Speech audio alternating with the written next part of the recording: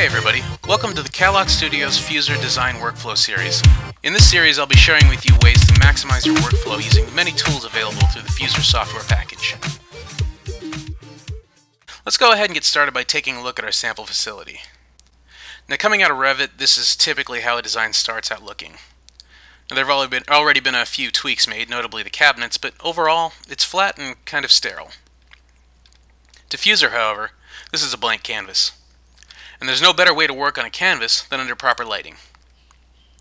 With Fuzor, adjusting the lighting is as easy as selecting the light, clicking the Adjust Light button, and moving your sliders to the desired settings. And with the check of a box, those settings can be transferred across an entire family of lighting. Also, you have the added ability to adjust your daylight in case you want to add that little bit of dramatic flair. Now that we know how to set our lights, uh, let's go ahead and take a look at Fuzor's material assignment capabilities. With Fuzor, assigning materials is not only simple, but fun. By clicking on an object, you can see what materials are already assigned to them and change them accordingly by clicking on the Render Material in the Element Properties window. You can adjust the transparency, reflectivity.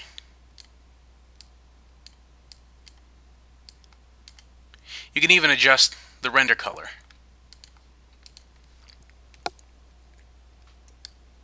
You can also select different materials from those uh, that are available already in your materials library.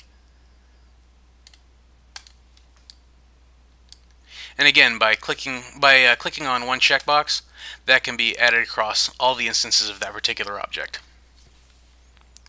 Now you also have another option. Let's say I want to give this a custom look. Let's say I want to give it a look of leather.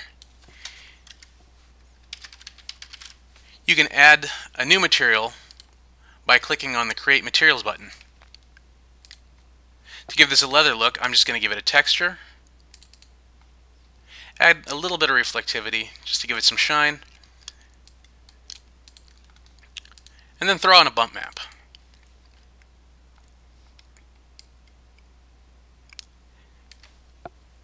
And by doing that, you can just add that extra bit of flair that you may want to add to your project.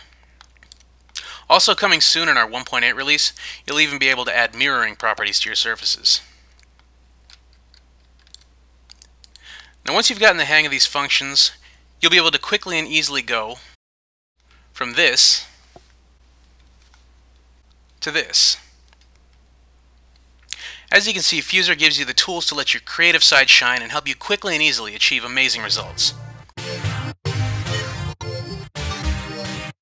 Let's get back right into the project. Now first thing I'm going to do is I'm going to just kind of do a really quick inspection, see what it is that I want to change in my project, kind of make it look the way I want it to, kind of give that feel of the function I like. So first thing I want to do is just, there's something I wanted to add to the uh, back area of this conference room. So I'm just going to go ahead and save a snapshot here. And, oh, there we go. Uh, I got to fix this table here. And if I remember correct, there it is. The mystical floating printer. So I'm going to go ahead and take a snapshot here too. Let's go ahead and run through and see what else I want to change. This looks like a nice office kind of an area here, but it just doesn't have the right feel to it yet. It's just kind of barren. So let's go ahead and save one of that too. And there's one more I wanted to look at up here. Mezzanine area. Well, I'm not even sure what this is right now. So much stuff going on. So yeah, let's click on that. Okay, I've got four spaces I want to look at. Let's go ahead and start out the most obvious one here. I want to fix this up. Looks like we got a table leg going through a chair here. Go ahead and refit that. Make sure my refit physics is on so it'll bump into stuff. There we go. Let's get that out of the way. I can hit escape to finish too instead of hit finish. Let's go here. That looks good right there. And since this is kind of a waiting area, let's just uh, make this chair face the front desk. You know, give somebody a good view of the TV too. Let's pull that out and let's go ahead and come up here and rotate it while we're at it. Just make sure this face is the right way. Uh, let's not make him crowd the other guy's legs out. And bring that forward just a little bit. There we go. That's about what I want. Okay, let's not forget this one. The Mystic Floating Printer. Let's go ahead and shift that down. I'm just going to really quickly change the color because I don't remember ever seeing a printer like that of that particular color. So, there we go. Okay, let's go to our next stop. Let's see what we got here. Okay, this office area. Uh, let's see what I can ask. me. office, so I'm going to assume that everybody in this office is going to need some kind of computer. So I'm going to go to my family uh, library here. I think it was under specialty equipment. And there we go. Let's give these guys some computers. Okay, uh, let's give that a kind of a shiny black. I think I've made that before for the TV. There we go, that looks more like what I'm used to. Okay, um, I'll go ahead and hit place selected because I don't want to have to go finding it again. And let's put one here. I'm going to hold shift to rotate this around. It should snap right to whatever wall is there. Give it parallel. One here, one here, one here, and I believe there was one more chair. Yeah, there you are. Eh, I don't want to leave somebody out. Okay. So far so good. A little dark. Let's see what we can do in the way of lighting. Right up here under lighting. There we go, under cabinet lighting. Okay.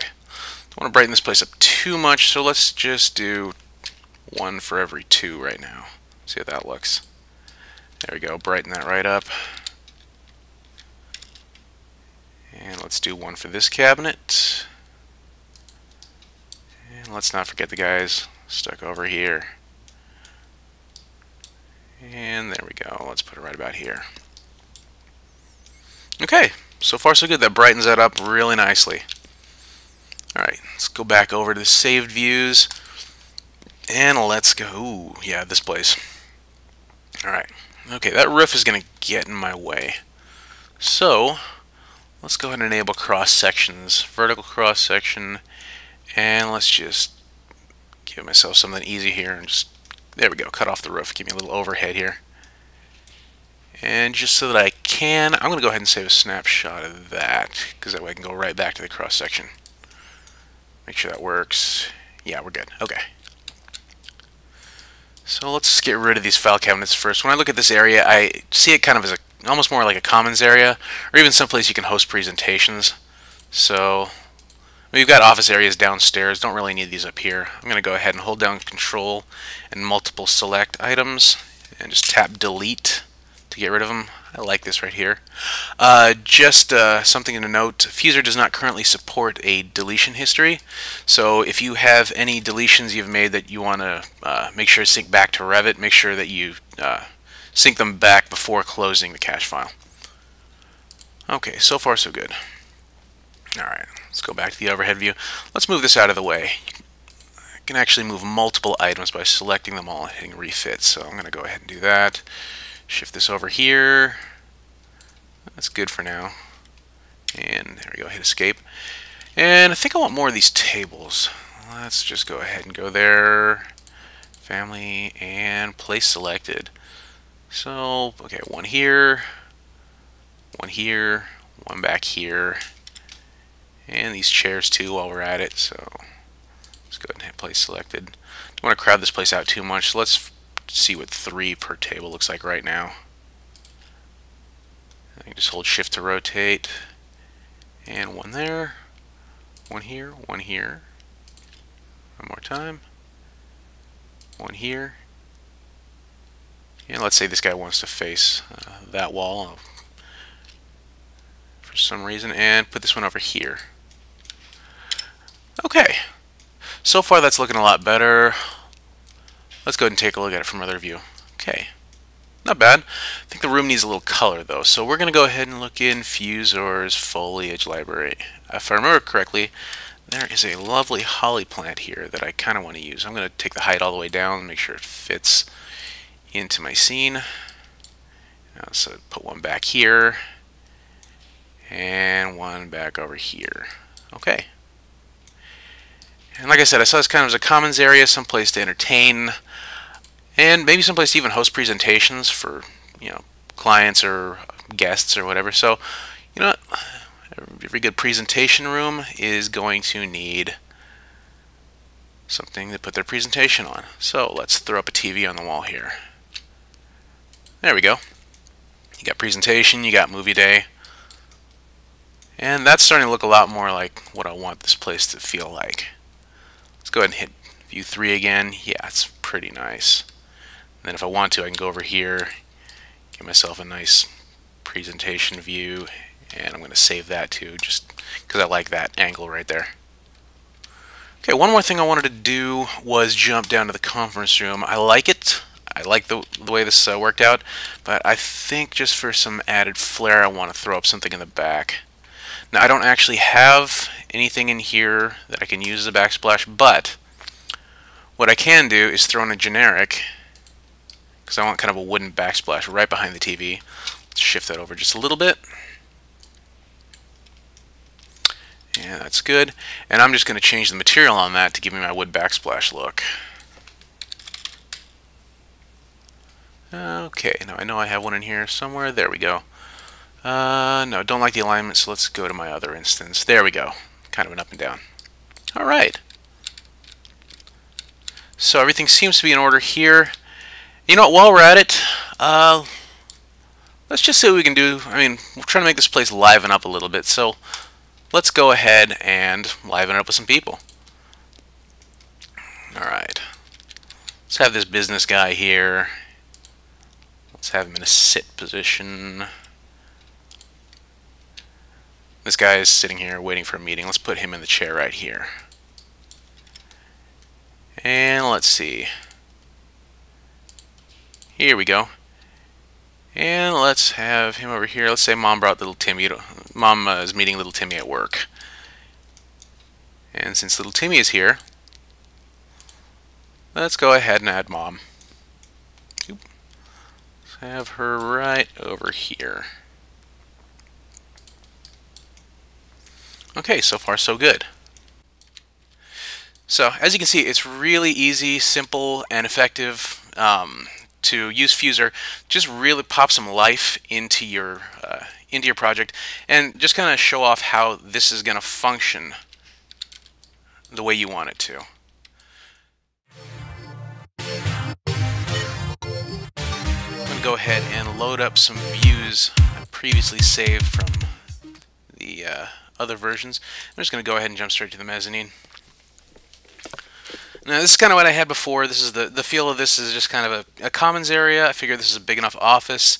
Be nice to have some place to you know go uh, relax for lunch, you know congregate that kind of thing. Or you know if you happen to have an office function, you can throw something up here for uh, guests you've invited. But you know I'm thinking to myself, what else could I do with this room? I mean, sure, that that's one thing, but let's say your office uh, needs a little more archival space. It, you, know, you could have an upstairs archive that has all your archival documents. That would be a good use for this room. Uh, another use would be if you have sort of an executive office, uh, you could place up here. Uh, you could have the you know the boss's desk back here, and maybe let's say a secretarial desk over here, another one over here, if, you know, office manager otherwise. Uh, and one other idea, actually I had a couple other ideas. One, you could even turn this thing into a movie room, be really cool. So, you know, I, I, I kind of want to be able to portray each and every one of those ideas. So what I'm going to do is I'm going to use the design options to do that. First, I'm going to set up a new design option. I'm going to go ahead and change this to mezzanine so I know where I am. There we go. And I like leaving one empty slot. Yeah, just so I, just so if I want to start with a blank room or if I want to see what the room looks like clean, I got that. Okay, so I'm going to go ahead and create another one. And I'm going to save this one as the common area. So first thing I'm going to do, let's go ahead and jump over to my cross-section view here. let's go ahead and select these, and I'm just going to go ahead and add these to that first design option. I'm going to make sure this is highlighted. So I definitely want this to be a keeper. I don't want to lose that, so I'm going to go ahead and add these to the option. Let's switch back and forth. Okay, so just need the chairs. Actually, I'm going to switch to empty just to get everything else out of the way, make the chairs a little uh, easier to click. Should also speed this up quite a bit. There we go. And I'll make sure this is highlighted, and I'll say, I'll just go here and say add to option. Okay, so jumping back down. Okay, so we got our common area, and we got a clean room. We've already got two options set up right off the bat. Now, let's see. What, the first idea I had, uh, like I said, was an archival uh, archival floor. So the way I figure it, I think I should probably put some shelves over here. Well, not shelves, but uh, filing cabinets over here. Maybe a couple more over here. Table over here in case you want to review the documents. I figure TV would, I, would be a good idea in case you have any video documents. So let's go ahead and create a new one here. And let's call this one Archive. Now, nice thing about this is I can go ahead and go like this, go to the archive, I can say add it here. I'm just going to move this over. Okay, let's shift this all the way over here. That's good. And Fuzor will actually store that movement separately in that design option right there. So I can go back here. There we go. First thing we're going to need is a table. I can go and search for one, or I can go in here, and I believe furniture should have it. Um, in my vision, I got about two tables over here, and about one table back here just for review. So I'm going to go ahead and put the first one here as a review table. Let's go ahead and set that one right here. That's a little too close to the wall, so let's refit that. Don't want to crush anybody in the chair there. There we go. Okay, I figure a couple more over here would be good. In case somebody needs to do some reviews on really large stuff, I'm going to... Let's say you have plan reviews that you need to go over and you need a lot of table space, so let's put a couple of these over here. There we go. And of course, never hurts to have somewhere to sit, so let's do that. Let's go chair. So put about, let's say one here, Assuming I actually remember to click, that helps. There we go. So one there, one the, let's tilt this one out just for effect. And go ahead and put this one right over here. Actually, I'm going to go ahead and switch to my overhead view again. Make this a little easier. Let's go ahead and click this. Minimize this so I know where I am. And place some more of these chairs, I figure. One, two, three, and Let's put you right here. Okay. Uh, let's see. What else would go in an archival room? I think, obviously, we're going to need the shelves, or the, uh, excuse me, the filing cabinets.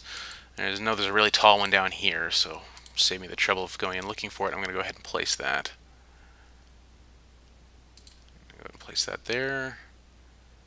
Two. Let's give these a little space. Make them feel real. Let's do this here, here, and here. Alright, let's give myself a little flip around here. And let's put about three more just back in here. Gotta make sure I give them enough clearance, otherwise you open them up. You don't want to open those back to back, they'll run right into each other. And you'll have no space to do anything. Those cabinets. Okay, so let's jump back down here, mezzanine view. Alright, there we go. There's my archival area. Like I said, I can go back and clean this up after I get my other uh, ones done. Um, I think, well, let's see, what was the other, what was the second one I wanted to do? It was the, oh yeah, the executive office area. So let's go ahead and create a new one. Clear the floor for me there. First thing I'm going to do is set up some desks. So I'm going to make some really nice looking desks. Okay, so first things first, uh, oops, not there. Let's go to furniture. There we go. So, actually, first let's go back to our overhead. There we go. So, first let's pick a bench here, and I know it's a standard bench, but I kind of want a desk that's similar to that look. So I'm going to go ahead and do that and I'm going to play a little bit with the scale. Let's make this 125% up for a height. Let's back this out another 25. Actually, let's make this about 150. No, 25 is good. Let's make this about 185 for the X. And let's see what we got here. Okay, let's move this a little bit because it's got to fit properly. Okay. Okay, oops, let's fit that back down a little to the floor. There we go. Okay, so that's actually kind of a nice looking desk. I like that. I'm leave that one there. Actually, I'm going to call that done. Let's see. Well, first thing I'm going to do is uh, I'm going to make a couple more copies of that one. So, let's go ahead and place selected. Let's rotate that one. And let's place one back here. And one back here. Let's say we got a secretary and an office manager. So, actually move that one a little over because I got an idea for that. Okay. Okay, so uh, rather than have you sit through the next 10 minutes of my own perfectionist tendencies, uh, what I figured I'd do is just jump ahead to my own finished, uh, my own uh, finished vision of this project. As you can see, we got the common room set up, uh, got the extra TV over here. You know, in case somebody doesn't want to watch the baseball game over here, uh, you can put 24 on or whatever you feel like watching. Of course, we have the office space over here beefed up the boss's desk, you know, just to give it a little more uh, oomph to it. Added some whiteboards on there in case you have, you know, really uh, big discussion, need something to write it down on. And the archives. This was the other option we were talking about. So we've got a large plan table here in case you need to review some large documents. Got your Xerox machine over here in case you need to copy anything up. Got enough uh, file storage to suit a small army, or at least uh, one very large uh, piece of construction, and another uh, another uh, review table over here, and something in case you need some video review. And then, of course, there's my personal favorite, right at the end. Welcome to the company movie theater. Let's go ahead and have some of our folks sit down for a movie. Let's start out by placing Casual Man.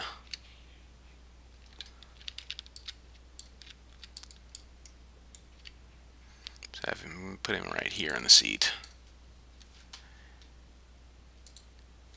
And let's see if we can place, let's say dad just got off work and I'm going to put him right here. And mom came from work and met him at the office, so she's going to go ahead and be seated right here. And since it's company movie day, they figured they'd bring their kids, so teenage daughter.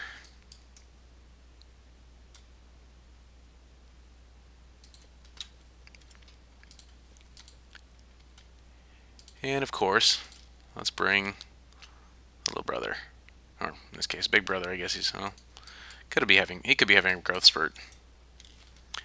And let's just add one or two more folks in there.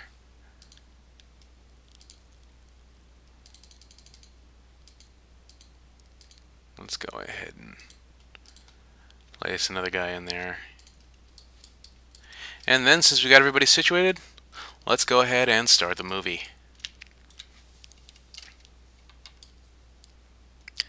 So, I mean, as you can see, this is just, uh, what I've been sharing with you is just my own design vision. With Fuzor's design tools at your disposal, the only limitation really is your own imagination.